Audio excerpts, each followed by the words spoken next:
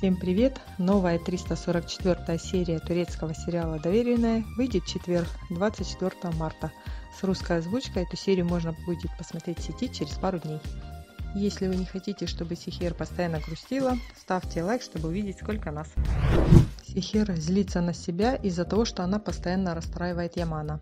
Она хочет как лучше, а получается как всегда. Она уже не та, какой была прежде, и этот факт ее сильно огорчает. Но Яман относится к Сихер с терпением, понимая, что ей очень нелегко, ведь память еще не вернулась. Несмотря на все эти трудности, Яман и Сихер стараются поддерживать друг друга, и их любовь становится еще крепче. И теперь в сериале мы увидим больше хороших сцен. Между Али и Дуйгу есть препятствие в лице Волкана, который одержим идеей заполучить Дуйгу. Он наносит серьезный урон отношениям этой пары, и пока они не могут быть вместе. Если вы не хотите пропустить анонсы к новым сериям, тогда подписывайтесь на канал и не забудьте включить уведомления, нажав на колокольчик.